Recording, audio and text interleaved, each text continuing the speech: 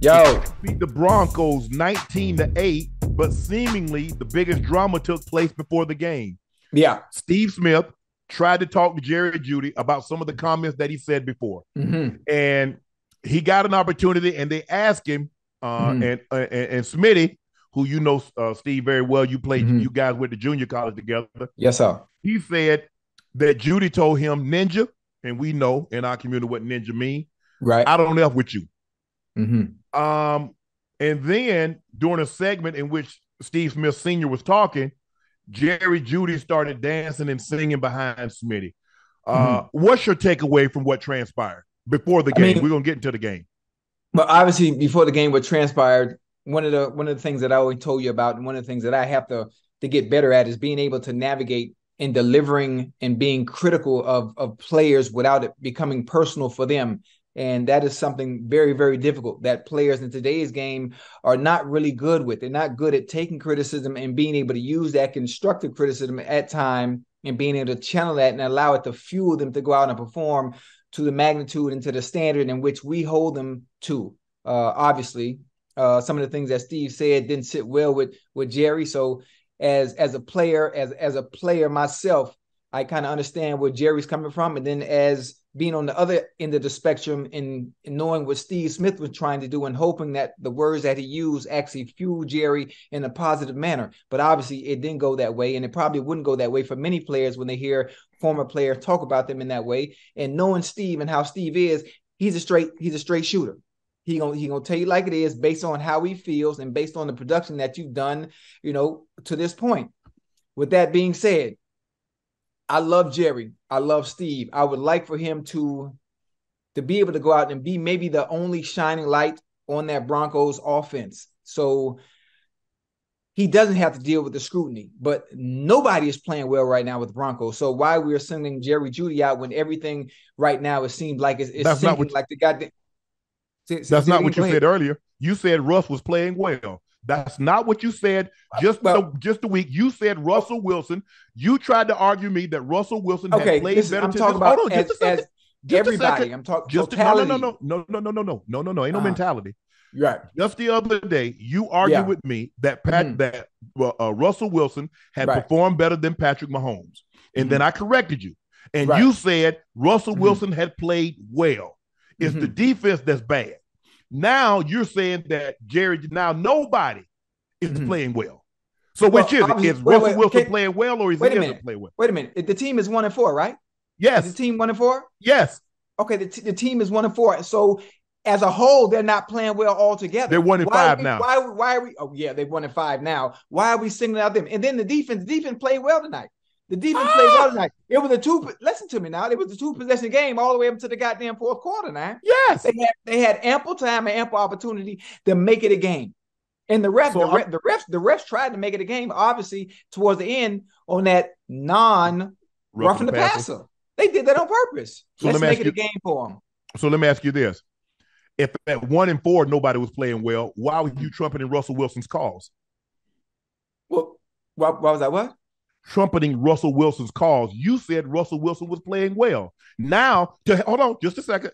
Now, to help build your case why Jerry Jeudy Mm. isn't playing well, you said no one is playing well, and so why are we piling on Jerry Jeudy? I'm I'm talking about we're piling on Jerry Jeudy when offensively the team in itself is not playing well.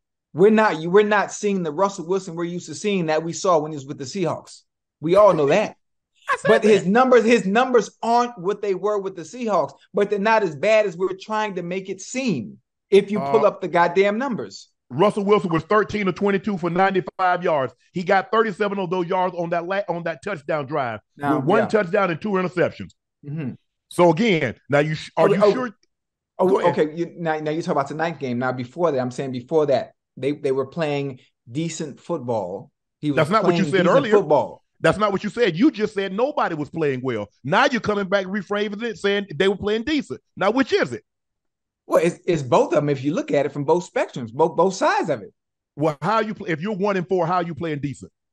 Well, ain't nobody playing as good as we want them to. That's why they're one and four. But that's not what you just said, Ocho. You just said they were playing decent.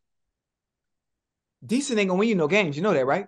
Oh, really? Decent, decent ain't gonna win you no games. You know that, right? Oh. Stay, stay with me. You you know that. Decent I ain't do know that. games. So, so you think? Hold on. Jerry Jeudy was the 15th overall pick. Yeah. Jerry Jeudy. Uh, there are five receivers in that same draft class that have more receiving yards than Jerry Jeudy's 2,500 and 2,503 and nine touchdowns. Justin Jefferson, who was selected after uh, uh, Jerry Jeudy. Tee Higgins, who was selected after Jerry Jeudy. CeeDee Lamb, who was selected after Jerry Jerry Jeudy. Brandon Aiyuk, who was selected after uh, Jerry Jeudy. Michael Pittman Jr., who was selected after Jerry Jeudy. All of those guys have more receiving yards, more touchdowns. How, how about I do you this one? There were two receivers that were selected in the draft after him that's been more productive than Jerry Jeudy. Ja'Marr Chase, Jalen Waddle, and Amon-Ra St. Brown and Devon, DeVonta Smith are within 100 yards who were selected in the draft after him of Jerry Look- Jeudy. and so look you're all- saying, hold look on, at- just look a at- second. Okay. Hold on just a second.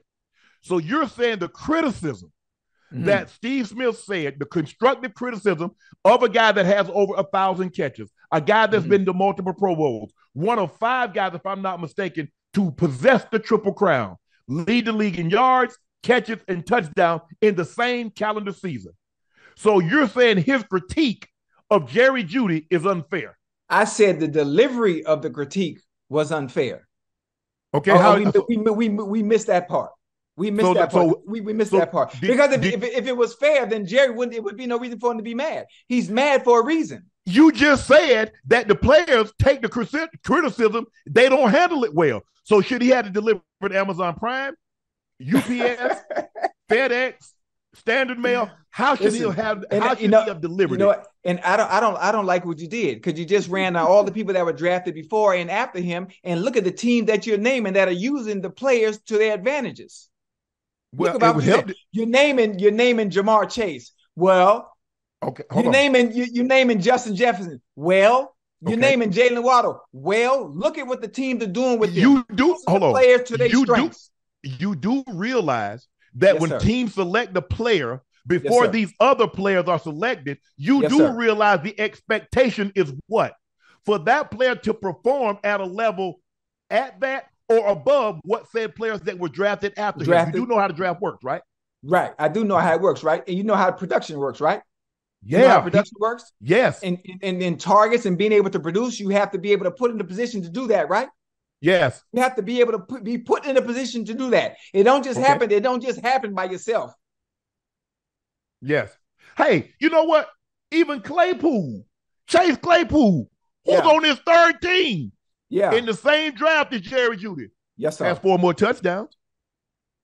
Oh, so we oh we, we try we trying to nitpick. We thought we, we, we Ain't no we about- we trying to nitpicking. nitpick. You just on, man. said players don't handle constructive criticism because you said the Well, you- delivery.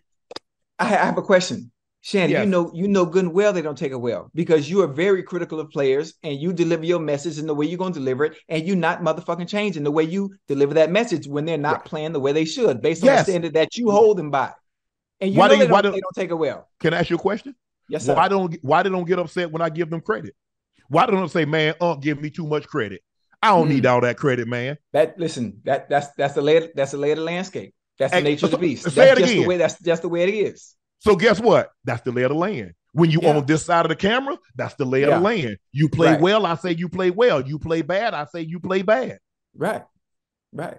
But I, I just but I thought it was a little bit unprofessional. You see Mhm. them doing an interview, and then you come on the sideline and you start dancing and bucking behind them. Oh, oh, oh, oh. So now it's a problem. Oh, it's it's it's, it's, oh, it's a oh, it's a problem. So is that hold on? Let me ask you a question. Oh, so oh, now that it's a problem. that So professional? you can you can shoot how you want to on the camera and the mic, but then when the person see you in person, that's the problem on how they want to dance and why they want to get ready for the game. You do realize that Steve Smith approached him like a man and wanted to have a conversation and to say, "Bro, if I if you took anything that I said, I want to apologize for." How, Right. Oh, he said he did he did say sorry. Well, Yeah, he he he, he wasn't feeling it. He wasn't feeling it. Well, how about how, But you know what? Jared Jeudy can make the all this go away if he played better. Yeah. Yeah. I mean, three catches tonight for 14 yards. So what's that supposed to do?